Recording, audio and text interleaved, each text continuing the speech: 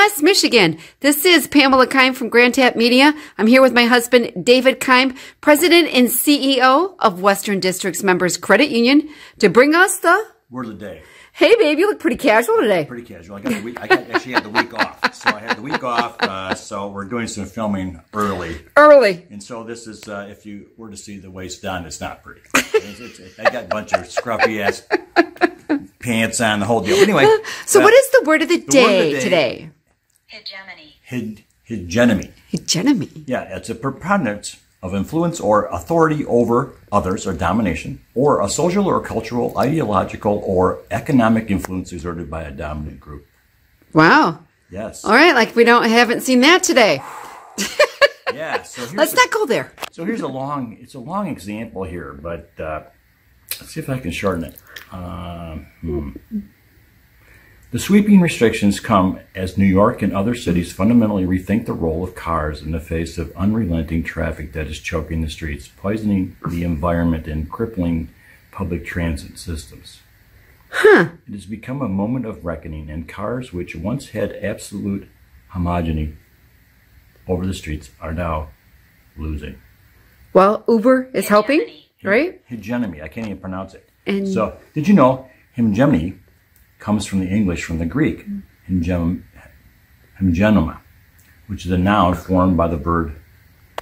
We're going to go right along with this. I don't speak Greek or have the verb pronunciation. Hegemony was first used in the English in the middle 16th century and is referenced to control once wielding by ancient Greek states. So,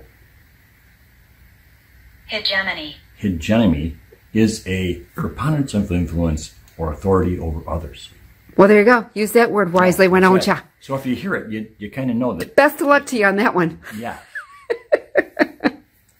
yeah. So what do you have going today? So what did I have going? Yeah. Uh, oh, oh, Friday. Let's talk about Friday. I had my meeting with Roger Lucas, okay. uh, creator of the Grand Castle. Yeah. We went over to some of the details for the upcoming uh, Grand Castle Library private debut, which is happening in October. Yeah.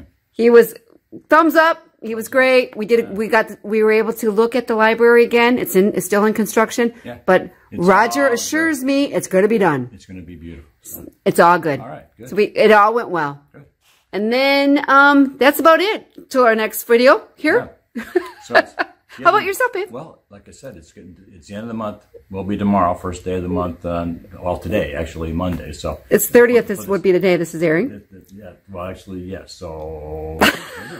Yeah. yeah. it is. Okay, it is. So okay, but I'm off this whole week, so that's right. So anyway, so but uh, the word of the day that we're using, we're going back. This is actually Saturday's word. All right. Hegemony. Hegemony.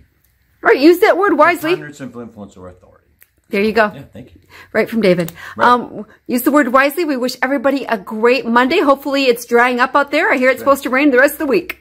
That's the scoop. Thanks. This Pamela David Keim, and we wish you a great day. We'll see you tomorrow for the... For the day. Take care.